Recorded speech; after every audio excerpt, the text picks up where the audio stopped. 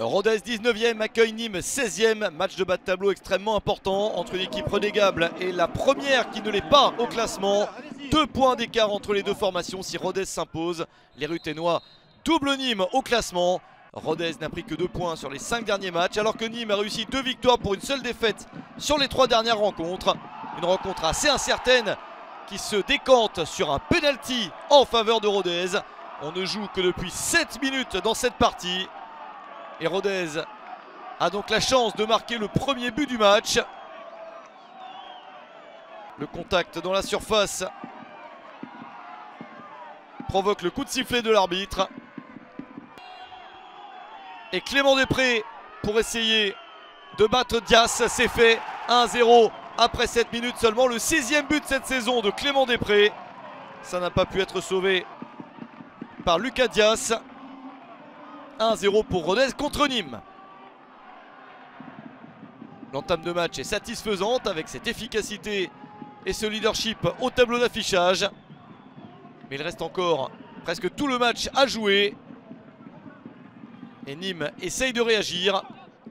Une possibilité d'égalisation sur cette action. Le ballon rebondit de manière défavorable pour la défense ruténoise. La frappe de Mousset. Mais la défense de Rodez se replie pour empêcher l'égalisation adverse. Lionel Passy et Van se sont interposés. Une petite chance pour Rodez sur ce tir. La trajectoire est tellement surprenante que ça termine sur la barre transversale. Soumano pour cette énorme possibilité. La lucarne était toute proche. On en reste à 1-0 à la mi-temps. Rodez qui peut fatiguer en seconde période. Les Ruténois ont joué un huitième de finale de Coupe de France quelques jours auparavant en s'imposant 3 buts à 2 sur le terrain d'Auxerre, équipe de Ligue 1 Uber Eats. Une énorme performance. Rodez ira défier Toulouse sur son terrain en quart de finale. Autre match important contre une équipe de Ligue 1 Uber Eats. Mais ce sera plus tard dans la saison. Rodez se concentre sur ce 1-0 contre Nîmes. Des Nîmois qui ne sont pas loin d'égaliser. Bonne parade de Lionel Passy.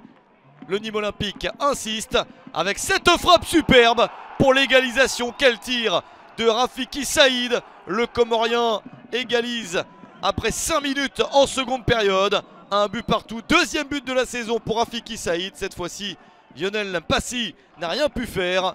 Les Crocos sont bien rentrés du vestiaire et ils marquent un but très important.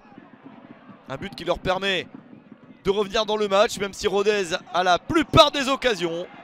Bonne intervention de Dias encore une fois pour empêcher un deuxième but ruténois.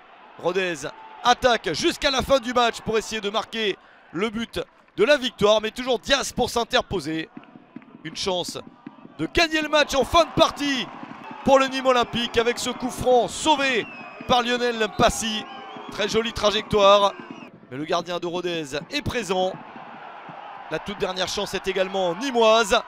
Mais le gardien s'interpose encore une fois. Il y a eu de bonnes attaques de part et d'autre et de bons gardiens. Au final, aucun vainqueur, un but partout entre Rodez et Nîmes.